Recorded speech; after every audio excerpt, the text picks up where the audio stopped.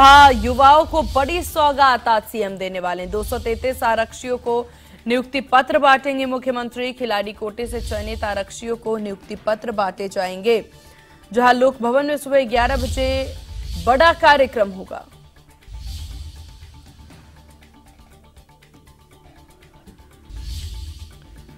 तो बड़ी खबर आपको बता दें, लखनऊ से जहाँ 233 आरक्षियों को नियुक्ति पत्र सीएम के द्वारा बांटे जाएँगे। खिलाड़ी कोटे से चयनित आरक्षियों को नियुक्ति पत्र देंगे सीएम लोक भवन में सुबह ग्यारह बजे। ये अहम कार्यक्रम आयोजित। खिलाड़ी कोटे से चयनित आरक्षियों को नियुक्ति पत्र देंगे सीएम। तो बड़ी खबर आपको बता दें, जहाँ युवाओं को बड़ी सौगात देंगे सीएम योगी आदित्यनाथ। 233 आरक्षियों को नियुक्ति पत्र बांटेंगे सीएम योगी।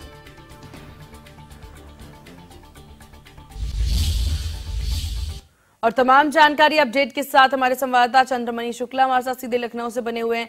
चंद्रमणि, कार्यक्रम को लेकर क्या कुछ अपडेट आपके पास?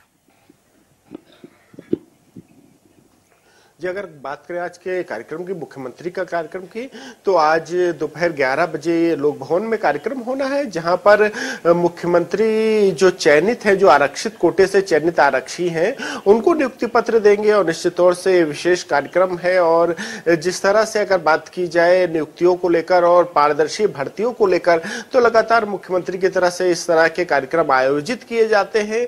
और जो। भी नियुक्तियाँ होती हैं उनमें से कुछ लोगों को चयनित करके करके मुख्यमंत्री अपने हाथों से नियुक्ति पत्र देते हैं, जिसमें एक संदेश देने की कोशिश होती है कि जो भर्ती हुई है, वो पारदर्शी तरीके से भर्ती हुई, वही जो नियुक्ति पत्र वितरण होता है, उसके पहले भी मुख्यमंत्री अभ्यर्थियों से पूछते हैं कि जो चयन प्रक्रिया रही, वो क्या पूरी तरह से पारदर्शी रही, किस तरह से रही, और अगर कोई धांधली हुई या कुछ गड़बड़ी हुई तो वो भी अभ्यर्थियों से फीडबैक लेते हैं। तो निश्चित तौर से ऐसा देखा जाता है कि लोक भवन में इस तरह के कई कार्यक्रम कार्यक्रम आयोजित किए जाते हैं, नियमित तौर से कार्यक्रम आयोजित किए जाते हैं।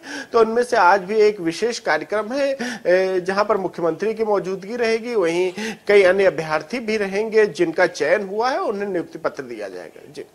चलिए, ठीक है, चंद्रमणि, आप नज़र बना के रखिएगा।